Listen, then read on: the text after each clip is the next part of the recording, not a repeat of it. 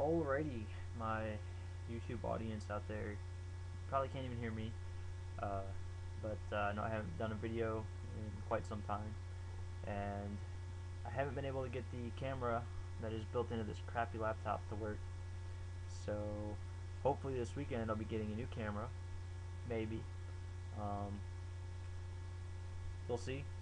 Uh, but I guess now that I got this camera going, hopefully I can get some imagery of some of the stuff that's been going on in the grow room. And uh, I apologize for my funky hair. It's kind of dry and just wanting to be crazy today. So, on that note, let's get going on the uh, plants.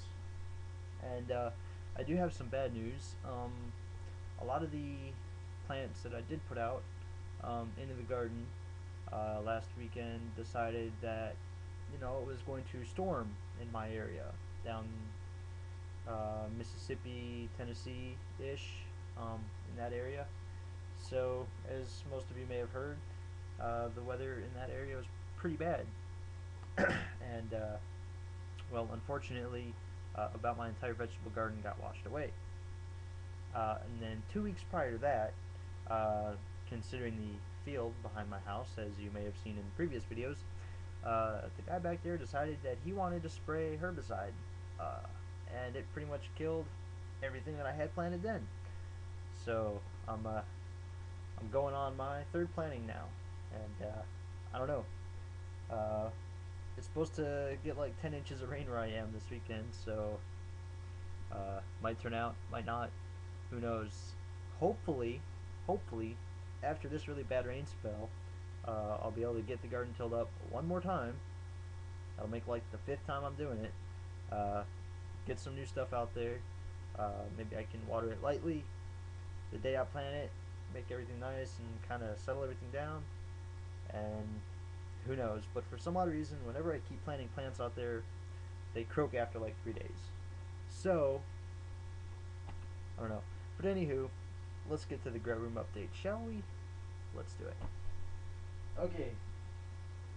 So as we can see, I have more beans, and I've actually put out like 20 bean plants, uh, but quite a few of them are outside.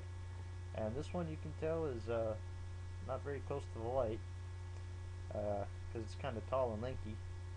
Uh, this one's about the same way, but I don't know. It's uh, kind of getting there, I guess. Uh, so those are those.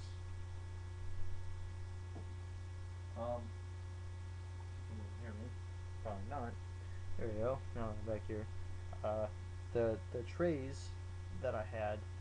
Uh, scoot down here. There we go. Uh, the trays that I had that I was using, uh, you may have seen them. I don't know if I showed them or not.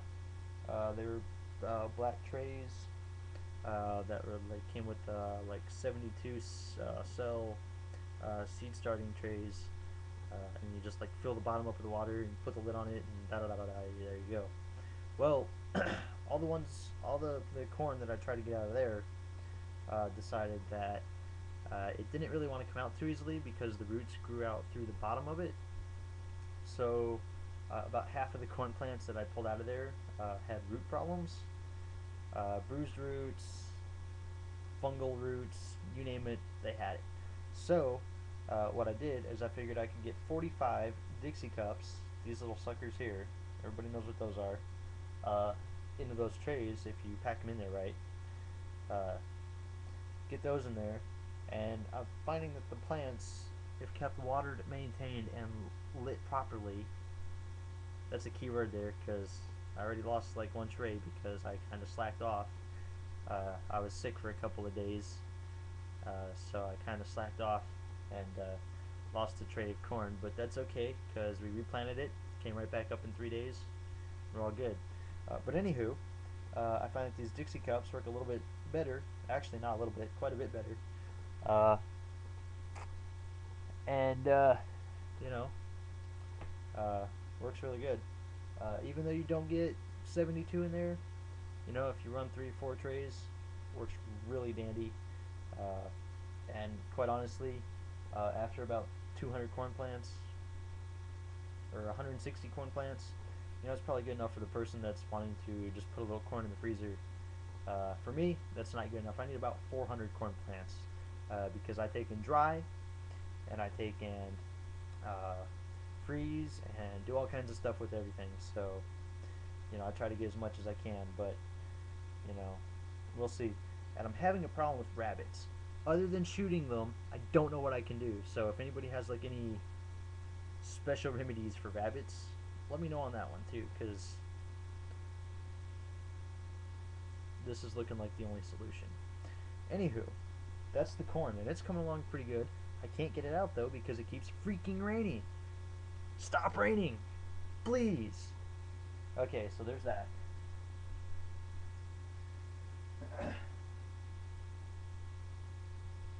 Uh, cucumbers. I got some cucumbers growing here. Look there. There's my light. Shameless endorsement for uh, Fenix, or uh, not Fenix, yes, Fenix. Fenix, that's who I'm looking for. Fenix flashlights. Uh, this is a Fenix TK10. Uh, love this light. It's incredible. Alrighty, there you go. Uh, cucumbers. I've got like six cups with like two plants in each, and uh, seem to be doing really good there. uh, my lettuce, kind of funkadelic here. Uh, I have no clue why it's like that. Uh, it's actually like really